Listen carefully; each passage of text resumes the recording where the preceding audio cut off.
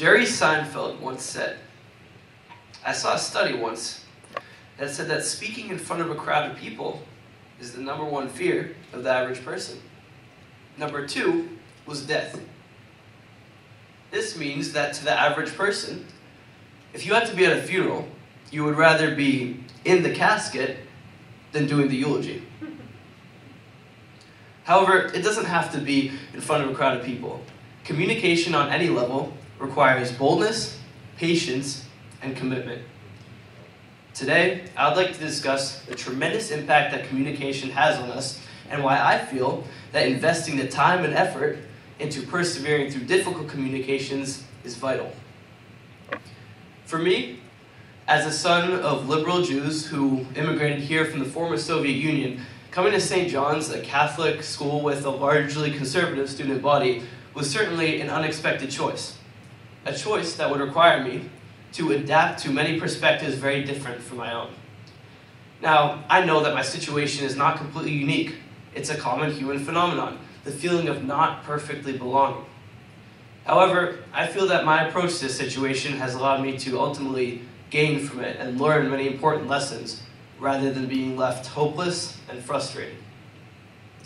Prior to coming to St. John's, I was surrounded by those whose ways of thinking, particularly political views, were very, very similar to mine. In fact, not a single one of my friends, not a single one, was politically conservative. As a result, I came to expect that it would be very, very difficult, if not virtually impossible, to be friends with someone with different political views. And that is exactly the issue I see in our society today. With the tense political climate, there's just outright hostility towards the other, and that to me is just ridiculous.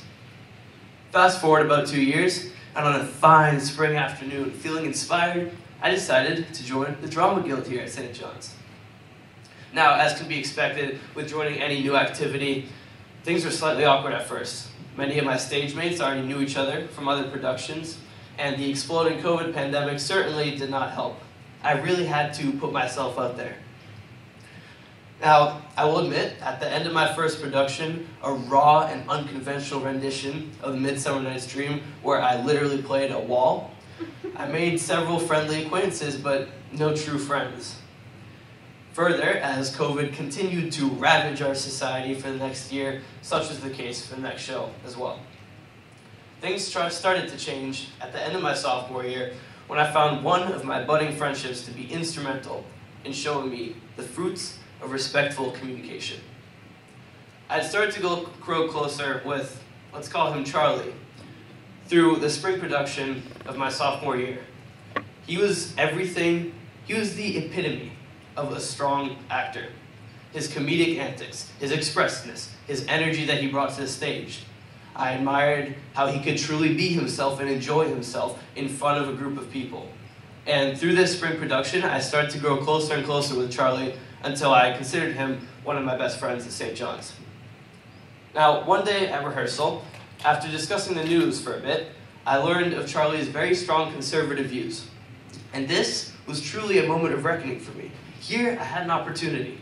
I had an opportunity to revisit and rethink my perceptions of opposing views, opposing ways of thinking. I was presented here with a challenge to change my own mindset. Now, I want to be perfectly honest. After that day, it truly was a struggle to not let Charlie's political views get in the way of my perception of him and his character, which I had admired for so long. However, as the weeks and the months passed, we learned to actually embrace each other. I learned to listen to Charlie, and we learned from each other's feedback. Now, there are two specific ways in which I feel Charlie and I have both greatly benefited, among many others, of course, from our friendship. On one hand, we've learned to learn from each other. We've learned to accept each other's views, and at times, this has even led one of us to shift our views on certain topics. On the other hand, though, let me be completely realistic and honest. To this day, Charlie and I disagree on pretty much every single political topic we discuss, but that is okay.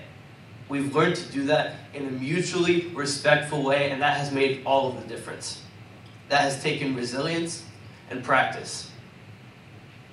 Whether it's a political debate, a school board meeting, as we've seen many times, or just a small disagreement within a family, we have seen the tremendous negative impacts that political polarization has had on our society the last couple of years.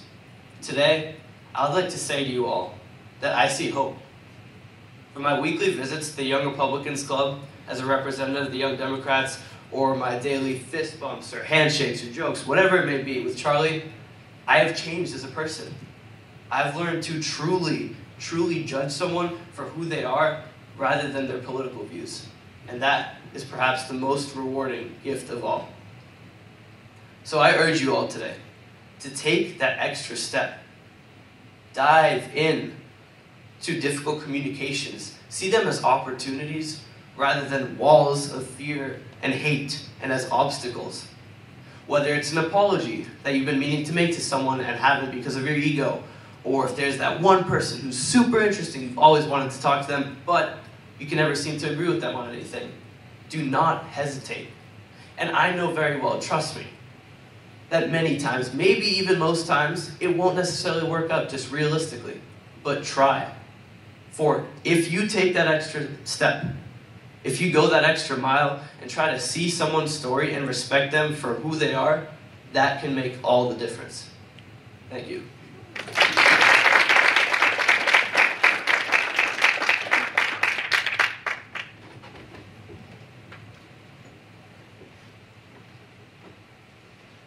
Uh, that's it for